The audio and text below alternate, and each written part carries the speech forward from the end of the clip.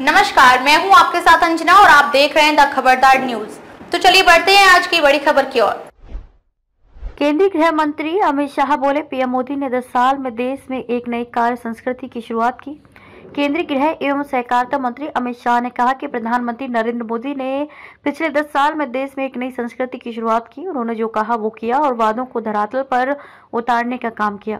उन्होंने देश की तेरह करोड़ महिलाओं को गैस सिलेंडर दिए, एक करोड़ लोगों के घर में पाइप से गैस पहुंचाई, चौदह करोड़ लोगों के घरों में नल से जल पहुँचाया, चौदह करोड़ शौचालय बनाए, तीन करोड़ से अधिक घर बनाए और साठ करोड़ गरीबों को प्रति माह पाँच किलो अनाज मुफ़्त दिया। केंद्रीय गृह एवं सहकारिता मंत्री अमित शाह सोमवार को द्वारका में एक कार्यक्रम में बोल रहे थे। इस दौरान उन्होंने ग्रामीण इलाकों के विकास के लिए दिल्ली ग्रामोदय अभियान के तहत तीन सौ तिरासी करोड़ रुपए की लागत से इकतालीस गाँव में पाइप नेचुरल गैस सुविधा और एक गाँव में विभिन्न विकास कार्यों का उद्घाटन किया। उनके साथ केंद्रीय आवास और शहरी विकास एवं पेट्रोलियम और प्राकृतिक गैस मंत्री हरदीप सिंह पुरी और उपराज्यपाल वी के सक्सेना सहित अन्य गणमान्य व्यक्ति मौजूद थे। इस मौके पर अमित शाह ने कहा कि 10 साल गरीबों के कल्याण और गाँवों के विकास के नाम रहे। प्रधानमंत्री ने शहर और गाँव के जीवन के बीच के अंतर समाप्त करने के लिए अनेक कदम उठाए और इसके अच्छे नतीजे मिले। केंद्रीय गृह मंत्री ने कहा कि आज दिल्ली के ग्रामीण क्षेत्रों के लिए एक महत्वपूर्ण दिन है, क्योंकि दिल्ली के इकतालीस गाँव में पाइपलाइन से गैस पहुँचने की शुरुआत हो रही है। इसके साथ ही एक सौ के विभिन्न विकास कार्यों की शुरुआत हो रही है। दिल्ली के गाँव में इंफ्रास्ट्रक्चर के विकास और जीवन स्तर को सुधारने के लिए 900 करोड़ रुपए आवंटित किए गए थे, लेकिन इस पैसे का कोई उपयोग नहीं होता था।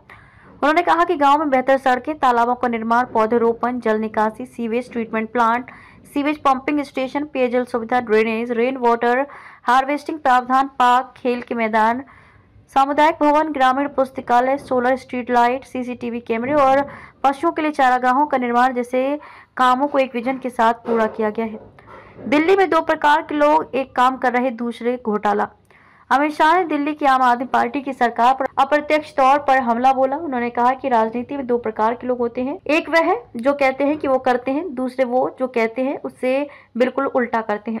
दिल्ली में ही दोनों प्रकार के लोग हैं। पीएम मोदी जो कहते हैं वो एक ही टर्म में पूरा करते हैं। वहीं एक वो है जो दिल्ली में लगातार भ्रष्टाचार कर रहे हैं। उन्होंने कहा कि दिल्ली जल बोर्ड का अठहत्तर हज़ार करोड़ का घोटाला 125 करोड़ का बंगला और 9 करोड़ का शीश महल की रिपेयरिंग का घोटाला। क्लासरूम घोटाला मोहल्ला क्लिनिक के नाम पर घोटाला सार्वजनिक वाहनों में लगने वाले पैनिक बटन में घोटाला बस खरीदी में घोटाला और वे कहते हैं कि वे कट्टर ईमानदार हैं। अब तक के लिए बस इतना ही। फिर होगी आपसे मुलाकात एक ऐसी ही बड़ी खबर के साथ। तब तक लिए नमस्कार और देखते रहिए द खबरदार न्यूज़। अपने सपनों का घर बना रहे हैं। एपी कंस्ट्रक्शन सॉल्यूशंस आपके लिए तैयार है। मज़बूत सिविल इंजीनियरिंग से लेकर आकर्षक वास्तुकला और विशेषज्ञ वास्तु परामर्श तक हम आपके सपने को साकार करते हैं। वास्तुकला, वास्तु और हुनर इतने बढ़िया। दिए गए नंबर पर कॉल करें और अपने घर के डिज़ाइन को चमकाएँ। Please visit the mountain cafe and bakery for fast food near by Suhagi bypass